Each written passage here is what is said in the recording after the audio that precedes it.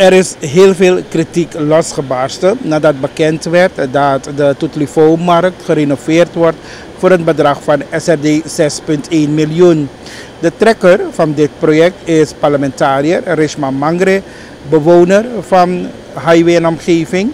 Maar ze zegt in haar verkiezingscampagne had zij dus ook de belofte gedaan aan de standhouders al daar dat de markt gerenoveerd zou worden.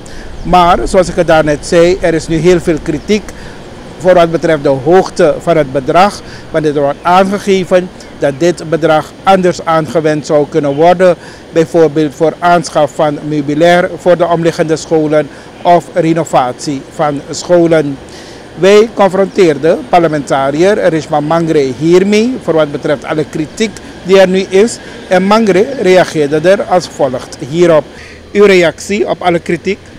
Ja, meneer Ganesh, um, luister, ik ben volksvertegenwoordiger.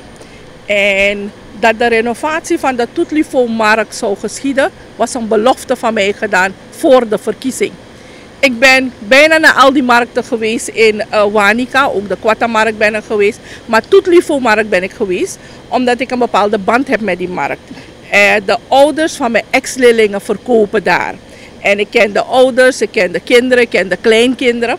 En ze hebben me toegeroepen van mevrouw Mangre, kijkt u, de markt is bijna in drie fasen had het was het gerenoveerd. Maar het was niet wat het wezen moest. De lekkages waren er. En kort, ik denk een maand geleden, uh, werd ik ook nog door de voorzitter van de markt uh, geroepen om te kijken van mevrouw Mangre, komt u kijken. Zo'n druk uh, bezochte markt. En het lijkt precies waar er vis wordt verkocht erg onhygiënisch. Maar ook de toilettengroep was dicht bij, de, bij dat eethoekje. Dus heeft hij gevraagd, wat kunnen we doen? Een bestuurslid heeft me toen gevraagd van mevrouw Mangre, wij lopen al maanden, jaren met een begroting en wij kunnen geen donatie vinden.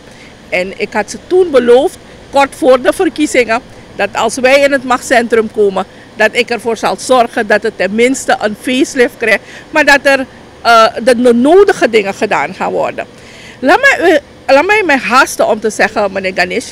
Ik heb slechts ingediend uh, het project. Wat er gedaan moet worden. Maar slaat u me dood. Ik weet niet eens wat een meter hout kost. Ik weet niet wat steen kost. Ik weet niet wat er allemaal nodig is. Dat alles heeft een architectenbureau gedaan. En een aannemingsbedrijf. Het aannemingsbedrijf is NABO NV.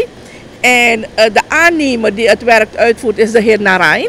Trouwens, u heeft hem ook geïnterviewd. En um, de, de directeur is de heer Mangal.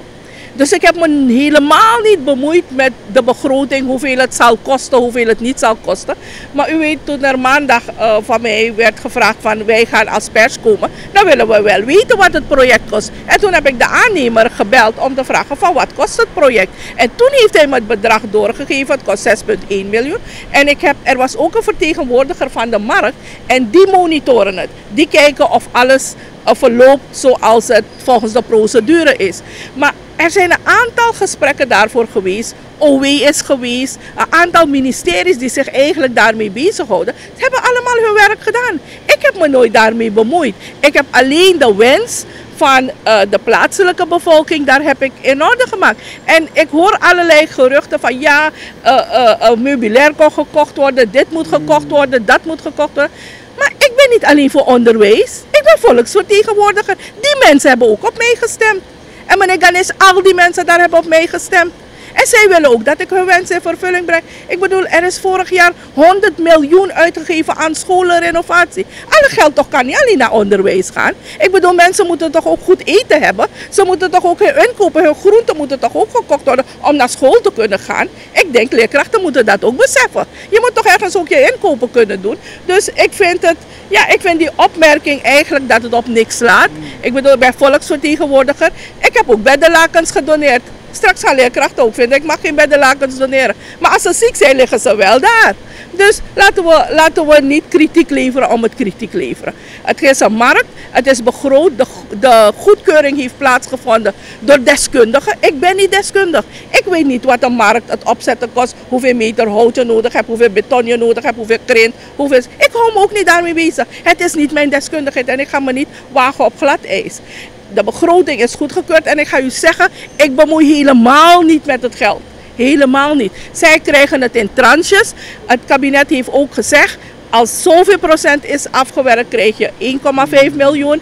Uh, als het tot dakhoogte is, 5 miljoen. Bij de oplevering 100 miljoen. Ze hebben zoveel andere projecten uitgevoerd. Ook scholen die worden gerenoveerd, worden op die manier gedaan. Maar ook toilettengroepen die worden gebouwd, worden op die manier gedaan. Ook het broodjesproject. Alle andere projecten worden op die manier gedaan. Dus ik hou me helemaal niet bezig met begroting en wie het indient en wie het niet indient. Het enige wat ik heb gevraagd is dat het project goed moet worden uitgevoerd. Dezelfde aannemer heeft een loopbrug gebouwd. En die loopbrug, u trouwens, uh, u, u, zal het weten, bij die school van Houten 1. En die loopbrug heeft ongeveer 300.000 gekost. Maar weet u, nu gaat viraal dat diezelfde meneer Newara, die zegt dat hij de markt voor, voor 2 miljoen kon bouwen. Hij heeft tijdens kabinet Bouterse 1 heeft hij een houten brug gebouwd voor 22.000 US dollar. Dat gaat nu viraal. En weet hoeveel 22.000 uh, SRD, US dollar is? Is bijna 9 ton. Heeft hij een eenvoudige loopbrug gebouwd van hout. En u moet gaan zien wat, wat de, de status is van die brug nu. Dus het is makkelijk om kritiek te leveren. De beste stuurluisteraar aan wal. Wat heeft hij toen gedaan? Dat gaat nu ook viraal. En hij, ik heb hem nooit horen ontkrachten. Ik heb hem nooit horen ontkrachten. Weet u, ik ben van dezelfde buurt waar meneer Newara woont. Twee mensen zijn al gekomen. Eén informatie mij bereikt. Die mevrouw is gekomen. Arme mevrouw. Huilend naar me gekomen. Heeft meneer Newara haar perceel gejat. Ik bedoel, laat hij dat onderzoeken. Een arme vrouw. Arme dienstvrouw. Nog een vrouw op de hoek van de Botromankieweg. Ook dat perceel gejat. Ik bedoel, wanneer meneer Newara in de politiek wil gaan en misschien parlementariër wil worden, laat hij campagne voeren. Ik val niemand aan. Ik voer campagne op, op wat ik doe. Mijn feiten liggen niet erom. Maar ik ga niet andere mensen bekladden om dan populair te worden. Ik heb dat niet nodig. Mensen stemmen. U weet, ik heb één maand voor de verkiezing heb ik bekendgemaakt dat ik de politiek inga. En ik heb 3.500 stemmen in de wacht gesleept voor de VHP. Voor één maand. En mensen hebben niet gestemd omdat ze me leuk vinden. Mensen hebben gestemd voor wat ik heb betekend voor de leerkrachten. Wat ik heb gedaan al die tijd. Dus dat mensen allerlei dingen suggereren dat ik niks heb gedaan voor leerkrachten. Nou, u weet het zelf. Heeft u gelezen dat het, uh, het doorstroomsysteem is stopgezet geworden? Weet u van wie het komt? Is de pressie die ik heb uitgeoefend hier in een themavergadering. En ik was de enige persoon in de commissie. Als voorzitter van die commissie heb ik gezegd dat het systeem moet on hold worden gezet. Vandaag, wanneer dat systeem niet meer doorgaat, dan zegt niemand, dankjewel mevrouw Mangre of het is door u gedaan. Nee, iedereen doet alsof het uh, van een leien dak komt. Maar ik heb hier daarvoor gepleit. En ik heb in elk interview gezegd, de voorbereiding is zeer, zeer slecht geweest. Ik wil niet dat de toekomst van de kinderen naar de maan gaat. Daarom heb ik daarvoor gepleit. Ik zit al 26 jaar in het vak. Mensen die niet in het vak zitten kunnen allerlei dingen schreeuwen. Wij weten, wij zijn de uitvoerders geweest van, van, van, van vernieuwingen. Ik heb ook in het onderwijs gezeten. Ik heb ook mij daar dienstbaar gemaakt. Dus wanneer ik over iets praat, dan weet ik waarover het praat. De middelbare scholieren hebben me ook gezegd, zij voelen de hitte ook. Het is voor het eerst in de geschiedenis dat ook de middelbare scholieren om 12 uur naar huis mogen gaan. Van waar komt het?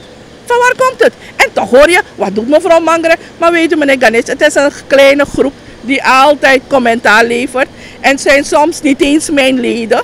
En weet u, de mensen van de markt hebben me gewoon gebeld vanochtend. Ik had zeker twintig telefoontjes en ze hebben gezegd, mevrouw Mangre, wij wachten op meneer Newara. Hij gaat straks die stemmen komen bedelen hier. En we gaan hem wegjagen, wij wachten op hem. Want wij hebben ook dat recht. U bent volksvertegenwoordiger. U bent niet alleen volksvertegenwoordiger voor leerkrachten.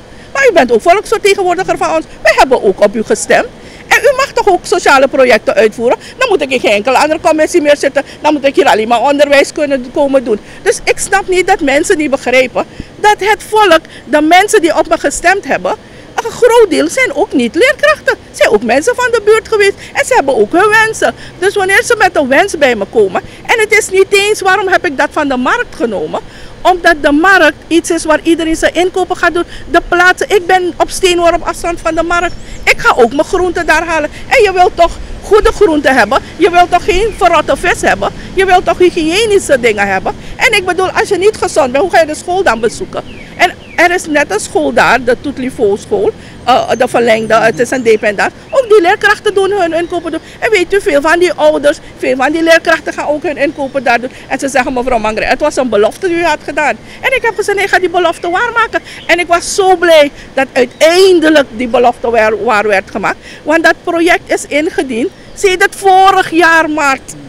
En pas na bijna anderhalf jaar ga, eh, eh, wordt er een aanzet gegeven. Dus wat is er, wat is er mis mee? En intussen, die, um, waarschijnlijk, ik ga u verwijzen naar die aannemer. Ik heb daarom zijn naam genoemd. Dat is meneer Narijn. En er is alle transparantie. U kunt dat gaan en het wordt gemonitord door deskundigen. Ik ben niet deskundig om te gaan beoordelen wat voor materiaal hij heeft gebruikt of niet.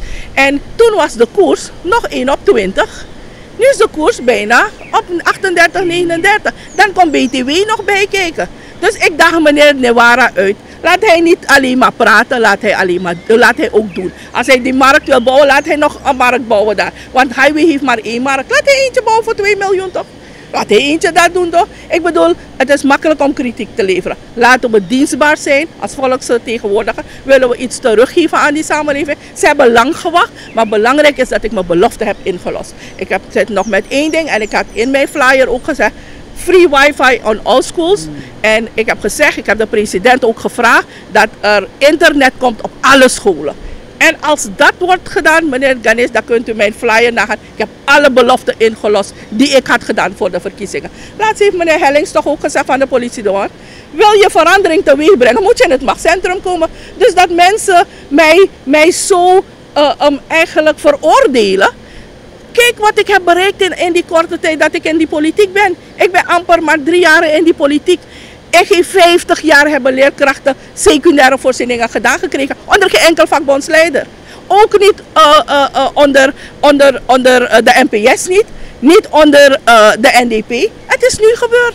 Het is, we moeten eerlijk zijn. We moeten niet kritiek leveren om kritiek leveren.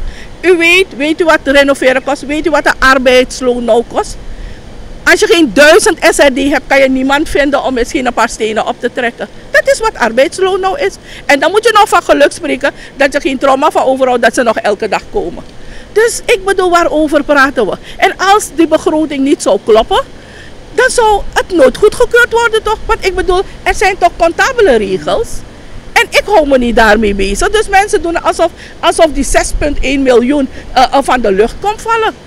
Ik bedoel, ik heb helemaal geen, geen, geen enkel affiniteit van wanneer wordt dat bedrag gestort. En bovendien, die aannemer krijgt het ook niet in één keer. Er wordt controle uitgevoerd, uitgeoefend. En wanneer dat is gebeurd, dan krijgt hij in delen zijn geld. En daarom wordt de markt ook gefaseerd gedaan. Wij willen allemaal uh, uh, uh, een goede markt hebben. Ga naar andere markten die zijn gebouwd door donatiegelden. Zijn in US duizenden tonnen US dollar is er gebruikt om markten op te zetten.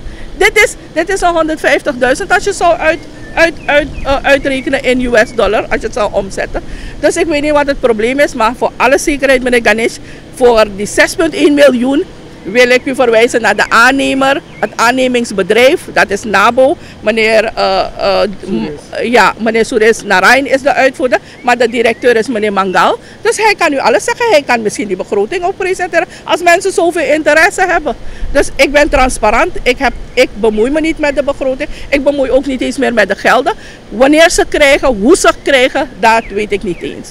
Dus ik, ik weet niet waarom die kritiek het is. Misschien omdat het om mij persoon gaat, want er zijn zoveel projecten uitgevoerd door andere mensen. Maar u weet, hoge bomen vangen veel wind. Ik ben het inmiddels al gewend. Het is hoe ga je om met die kritiek. En ik zeg, het zijn altijd een groepje mensen maar die die kritiek leveren. Mensen die bouwen, mensen die weten wat voor betekenis die markt heeft. De marktventers zijn super, super blij. U zal ook wel in de comments hebben gelezen dat mensen hebben gezegd, ik ben volksvertegenwoordiger. Ik kan niet alleen maar... En bovendien is het niet mijn taak om te zorgen dat alle scholen toilet hebben, alle scholen meubilair hebben. Daarvoor is het ministerie er. Als vakbonds, vakbondsleider pleit ik voor de, voor de belangen van de leerkrachten qua lonen, qua werkomstandigheden. Maar het is niet mijn taak als bond om te kijken welke, welke school heeft een toilet. Ik, ik neem het op me omdat ik zeg, weet je, ik wil ook dat als wanneer kinderen naar school gaan, dat de klimaat aantrekkelijk voor ze is, dat de werkomgeving prettig is, dat, uh, dat wij een klimaat voor ze scheppen waar ze prettig naar school kunnen gaan. Elk kind wil in, in zo'n situatie leren. Dus ik neem het op me, dus bij elke school die beroep. Ik heb nu een aantal scholen die ook een beroep op me hebben gedaan. Nu word ik bijna bang om, om, om, om, om, om projecten in te dienen dat die scholen worden gerenoveerd. Ja, toch als je zoveel kritiek krijgt, ja, dan wil je het ook niet meer doen, want het demotiveert je ook helemaal. Maar, maar u, laat, u niet uit, de veld, uit het veld slaan? Nee hoor, meneer Ganesh, ik laat me echt niet uit het veld slaan. Ik weet ook van welke groep leerkrachten soms dingen komen. Vanaf, vanaf ik vakbondsleider ben, zijn er zoveel dissidenten. Maar ik zeg, laat ze zichzelf bewijzen toch? Laat ze, ze hebben 4.000, 5.000 volgers. 4.000, 5.000 volgers wil nog niet zeggen dat je 4.000 leden hebt. En wat hebben ze tot nu toe bereikt? Wat hebben ze? Ze zitten alleen maar af te geven op mij. Maar ze hebben niet eens één, één uh, uh, uh, hoe zeg je dat, één feit op tafel gelegd. Begin, te zeggen wat je hebt gedaan voor, voor alle leerkrachten. Ik kan de mijne opzommen voor u. Dus het enige wat ik wil zeggen, meneer Ganesh, ik ben de buurtbewoners hadden me benaderd. En niet één of twee, al die buurtbewoners die daar. Ik, ben, ik woon al, al 20 jaar daar. En de mensen hebben me al lang gezegd. Weet u, mensen van heinde en verre komen daar uh, uh, groenten kopen. Uh, komen fruit kopen, komen vis kopen, komen, komen, iets lekkers kopen, weet je, als het om bami, nasi gaat. Mm. En we moeten die mensen ook ondersteunen. Weet u, ik ben een voorstander van kleine ondernemers ook een push geven. Maar omdat het ging om een grote markt, dan zeg je, dan geef je het liever aan een bedrijf. Je wil niet een aannemer geven en dan hoor je vandaag of morgen de, hele markt stort in elkaar. Precies zo ook met die loopbrug. Weet u hoeveel bedrijven daar in de buurt wonen van highway? U, u weet het misschien. Maar niemand in geen jaren heeft iemand die loopbrug gemaakt. En het is een eenvoudige houten brug. Weet u hoeveel rijke mensen, ik wil, ik wil u die namen niet noemen. Maar niemand wilde 1% uitgeven. Dat wanneer het vandaag staat, hebben mensen commentaar. Maar al hun kinderen maken gebruik van die brug. En weet u waarom ik die brug, die loopbrug heb laten maken? Want die Houten, één school, VOJ Houten, die kinderen hoeven daar niet meer op het asfalt te lopen. Want u weet hoe gevaarlijk het is voor de kinderen op het hoeveel aanrijdingen daar hebben plaatsgevonden. Maar nu er vandaag staat, dan lijkt het alsof het voor granted is. Maar zeker tien jaar was het in een deplorabele staat. Ook de mensen van de Mandier maken er gebruik van. Weet u hoeveel, hoeveel aanvragen ik heb als volksvertegenwoordiger van mevrouw Mangere helpt u ons om een schilderbeurt te geven aan de moskee, aan de Mandiers, aan de tempel. Moet ik dat allemaal zeggen? Nee, ik moet me alleen maar bezighouden met scholen. Nee, toch laten we een keertje in dit land ophouden om alles in een, negatieve, in een negatief daglicht te brengen. Laten we ook kijken wat er goed gebeurt. En er zijn een heleboel mensen die dat hebben toegejuicht. Ik heb ze ook gezegd. Ze hebben me gezegd, mevrouw Mangere, laat u niet uit uw veld. Ik zeg nee hoor, daarvoor zeg ik te lang in die vakbeweging. Ik heb te veel, ik heb, dit is niks. Ik heb voor hetere vuren gestaan. En ik zeg, ik overleef het. Met de kracht en de wil van de Almachtige ga ik door.